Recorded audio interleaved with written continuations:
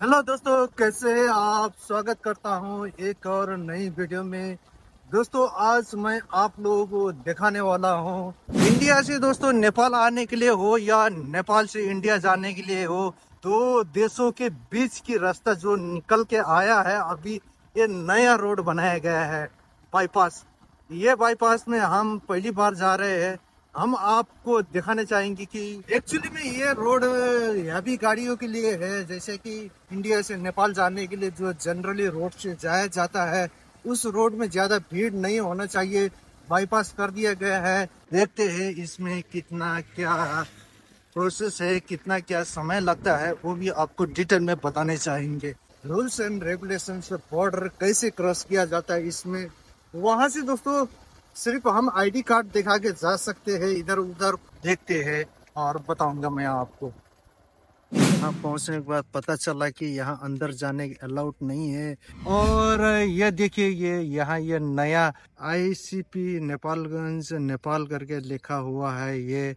और आपको देखने के बाद पता चली गया होगा यहाँ की लोकेशन की। दिखाने चाहूँगा मैं आपको क्लियरली यहाँ से। दोस्तों तो ये बात ये है कि यहाँ से बड़ी गाड़ी गुजरेंगे, छोटी गाड़ी गुजरने की अलाउड नहीं इन्होंने कहा। अभी मैं यहाँ इंक्वायरी करके आया।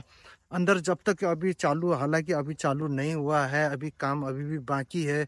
और जब ये काम पूरी तरह से कंप्लीट हो जाएगा, जो ये मैं आपको दिखा रहा हूँ, ये नेपाल का एरिया है, जो यहाँ से और उस पार जाने के बाद इंडिया उस पार में है।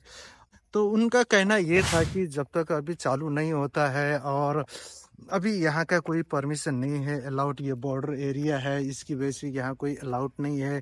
अंदर बहुत बड़ी एरिया है दोस्तों, ये जो एरिया मैं देखा तो अंदर बहुत सी, बहुत बड़ा एरिया है अंदर और अंदर काम चालू है। मैं हालाँकि यहाँ ये गेट के उस पार तक गया था तो उन्होंने यहाँ शूटिंग करने के अलाउड नहीं दिया। और मैं आपको दिखा दूँ ये जो है, यहाँ तो यहाँ उनका कहना ये था कि यहाँ नेपाल आर्मी और सशस्त्र बल यहाँ रुकेंगे और ये कस्टम डिपार्टमेंट है। यहाँ दोस्तों ये जो ये रोड है यहाँ से डायरेक्ट नेपाल जाएगा और यहाँ से इस पार, उस पार जो इंडिया चालू हो जाता है। ये हालाँकि ये नेपाल में है, ये बनाया है, इंडिया ने बनाया, इनका कहना ये था, इंडिया बना के नेपाल को हैंड ओवर करेगा, ऐसा उनकी कहना है। तो आज का वीडियो में आपको छोटी मोटी जानकारी दिया, ज़्यादा जानकारी नहीं है कोशिश कर रहा था बॉर्डर का क्या सिचुएशन चल रहा है, क्या नहीं चल रहा है, ये क्या है, हमारा भी ज़िम्मेदारी बनता है कि आप लोगों को दिखा दिया जाए, कैसे होता है, क्या होता है। तो देखिए, ये यही है यहाँ का आज का न्यूज़ और मुझे लगता है कि आप लोगों को काफ़ी अच्छा लग रहा होगा ये अपडेट के बाद, क्योंकि ये मेगा प्रोजेक्ट है तो दोस्तों ये नेपाल को और इंडिया को काफ़ी बेनिफिट होगी। और जो गाड़ियों की रफ्तार यहाँ से स्पीडली होगी, जो रुपैडिया की वहाँ एकदम घंटों तक, दो चार घंटे तक गाड़ियों का लाइन लगना पड़ता है एक एक दिन दो दो दिन तक भी लाइन लगना पड़ता है बड़ी गाड़ियों के उनको नंबर नहीं लगता है। अभी यहाँ से रफ्तार काफ़ी स्पीडली बढ़ेगा और जल्दी भी होगा।